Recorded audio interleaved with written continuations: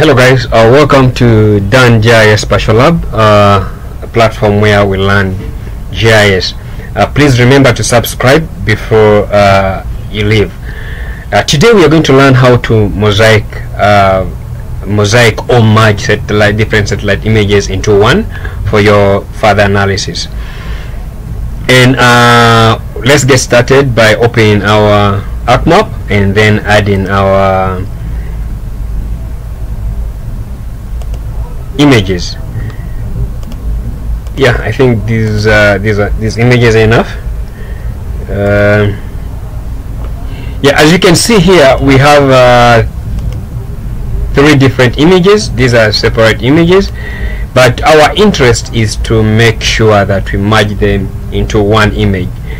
In a technical term we call that mosaicing so we are going to mosaic this into one image and uh, to do this uh, we need to come to we need to come to our data management tool here.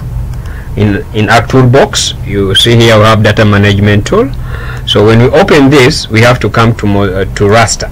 Under raster uh, when we open raster we need to open raster datasets so when we open raster datasets we shall uh, have we have various tools. But the tool that we're interested in we're interested in in uh, mosaic to new new raster yeah that's what we shall use for now. And now the next step we need to do is to add these uh, images into this window this uh, new window that has opened here uh, there are basically two ways uh, my case I can you just need to uh, click that arrow and add each of these individually like this. Or alternatively uh, you can um, you can just highlight this by left clicking then shift and then drag and drop it here. So uh, after doing this the next step we need to do is to get the location where we are going to save our our new raster our new satellite image. And under this uh, output location browse and look for that uh, folder where you want your final output to go. Uh, I had read this according to me here I've uh, created a folder called mosaic and that is where I am going to save my I want my output to go. So what you do here you just need to click. Don't open this folder like this. No. All you need is to highlight this folder like this and then add so that it can come to this uh, location. Then we need to give our new uh, image or raster or mosaic image uh, a name. For example I can just say mosaic mosaic uh, mosaic R maybe mosaic raster and uh, after that we have the next uh, the next place here that the next box that says uh, spatial reference. Uh, you can either add a spatial reference or you can leave. It does not matter uh, for the for, for your mosaicing then also we have pixel types. Uh, it has come here automatically so you just leave that. Then we have cell type. Cell uh, cell, cell size. Cell size is basically uh, the size of your your pixel that you uh, the size of your your images it's also optional and uh, according to me here I'm just leaving it but you can add but if you want to add this if you want to add that uh, you can just come and uh, open properties on any of the one or any of these images open its property and look for the uh, uh, cell size which is right here. And copy it and paste it the other side. Uh, the next one we have to get the number of bands.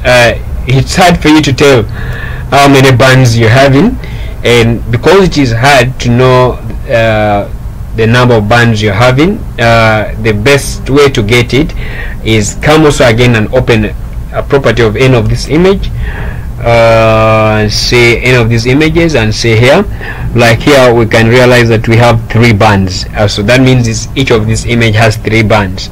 So what you do you just come and uh, and type here three good.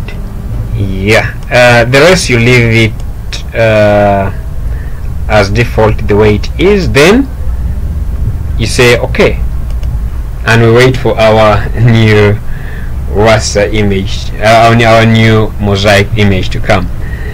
Yeah it will take quite a short time but uh, less than a minute it should be done. And we shall have our image ready yeah again remember to subscribe to my channel so that you can get more more more more videos like this. Uh-huh. Now here our our result is ready you can see here. Uh, what you need to do now is to well, let's just first uh, check this out. Uh-huh good. Now this is our new result.